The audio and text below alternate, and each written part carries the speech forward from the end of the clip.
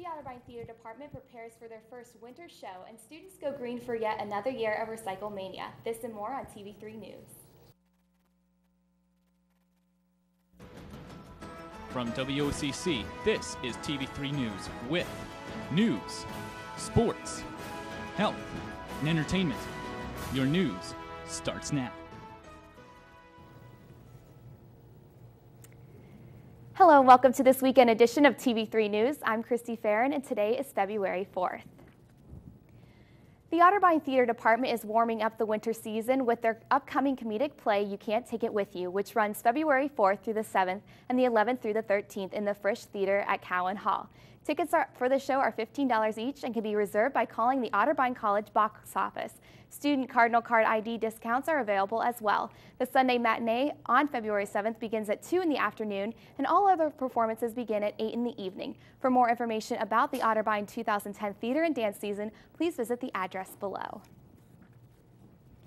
The Westerville Sunrise Rotary Club will present its 14th annual Wendy's Chili Open this Saturday. The fundraising event, which will take place at the Columbus Zoo and Aquarium, is one of the largest fundraisers planned and run by the club.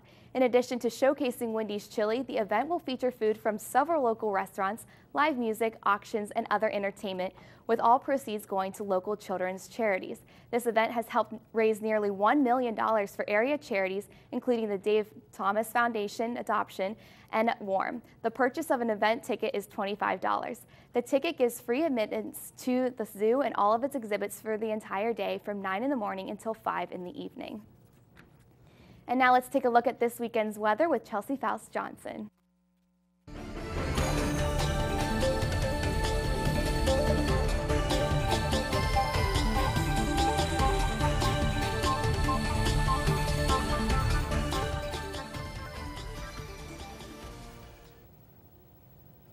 All right, thanks, Christy. Looking at this weekend's weather for you, it's going to be a bit snowy and cold, so make sure you be careful out there on the roads.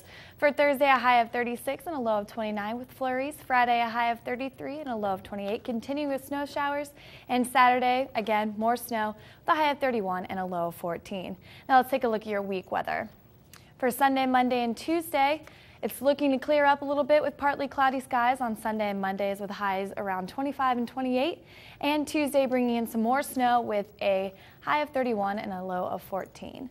Now let's take a look at the uh, northwest area of Ohio. You have a weekend average of about 27 degrees with snow flurries and a week average of 24. Um, taking a look at northwest Ohio, you have a weekend average of 29 with snow and a week average of about 25 with partly cloudy skies. Taking a look at the southeast, you have a weekend average of around 33 degrees with some snow and 31 with partly cloudy skies.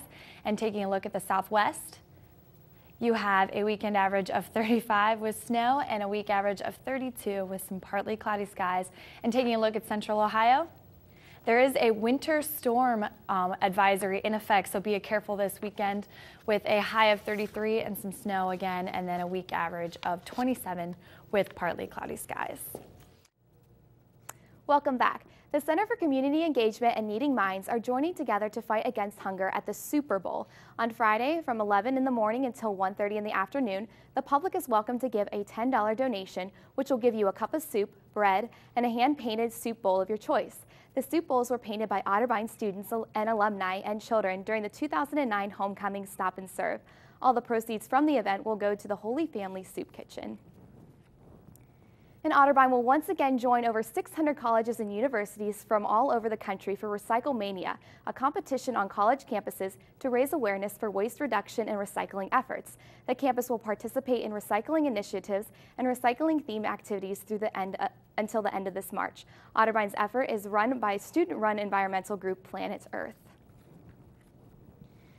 And throughout the year, high school students venture to Otterbein to begin their college search. And outside of the financial package offer and the decor of dorms, many students ask whether or not they should attend Otterbein. The Otterbein tour guides make that decision just a little bit easier. Students who come to Otterbein for a visit meet at Clippinger Hall, where they then set off with their guide on a campus tour. The tour walks on the sidewalks of the campus, through towers, the campus center, and other buildings. Tour guides can make or break a student's choice as whether as whether or not they would enjoy Otterbein. The guides are able to first present the information they can give about the school and then answer any questions. Along the one hour tour, the students, their family, and the guide can make good connections as well in hopes of the student becoming a Cardinal.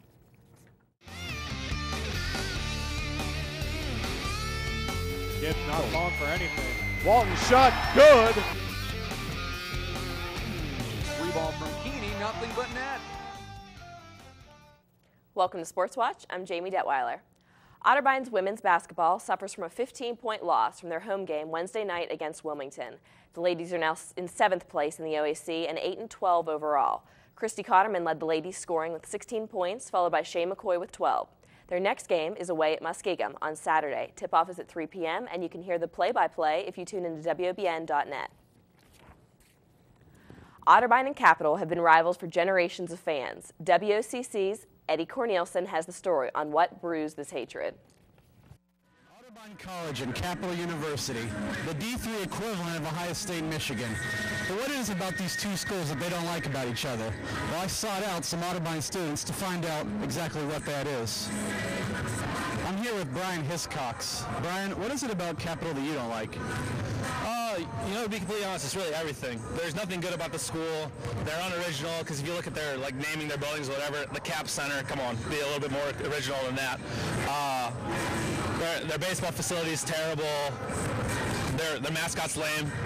It, it's just everything about them is absolutely horrible. It's kind of an embarrassment to be a, to be affiliated with them at all. I'm here with Samantha Lang, a member of the Otterbein band. Samantha, what is it about Capital you don't like? Just think we're a lot better than Capital. So. So it's less Capital hate and more Otterbein pride. Right. And what is it about Otterbein you love so much? Otterbein's just a great place. I mean, we've got some really good teams, and um, it's really fun to be with the band. Thank you. For a rivalry that has grown based on proximity, classic games, and fan antagonization, based on the Otterbein student reaction, either hate for Capital or love for Otterbein has spurned this rivalry into what it is today. For WOCC News, I'm Eddie Cornelison. The big rivalry brought a win for Otterbein this time. Hope you were in the Rike last Saturday to watch the boys win. They also hit a, a school record of three, point, three pointers in a game, making 15, seven of them scored by senior Brian Pollock. Capital had an early lead in the first half, and by the second half, the game was tied up. Closing the second half of the game, the Crusaders gave OC a turnover, leading to two free throws and giving Otterbein the scoring advantage. Otterbein improves to 5 and 14 overall and 3 and 9 in the OAC, while Capital drops to 11 and 8 overall and 6 and 6 in the league. College sports fans got rowdy last night, but not in the Rike but in Morgantown, West Virginia, during the always bloody backyard brawl against Pitt. One of three technical fouls during the game was called due to a fan throwing a penny that hit Pittsburgh's assistant coach Harrion in the eye. Eventually, a bruise became visible. WVU's coach addressed the fans with 12 minutes left in the game, saying that's stupid to throw objects on the court. Mountaineer fans had been warned in the past few weeks through emails to tone down their behavior after vulgar language they expressed was heard on national TV when they played Ohio State recently. That's all I have for sports. Christy, what's left? Well, the Super Bowl is always known for football, friends, the halftime show, and new commercials advertising major companies. This year, however, Pepsi will not advertise drinks during the Super Bowl, which ends a 23-year run. Pepsi beverages have been advertised in the Super Bowl since 1987. The company wants to have more of a focus on marketing efforts that will appear mostly online. On average this year, an ad time costs about $3 million for about 30 seconds. But you know, people definitely tune into them, and that's for sure. And I am definitely looking forward to the commercials on Sunday. And that's all for this edition of TV3 News. On behalf of the entire news crew, thanks for watching and have a great weekend.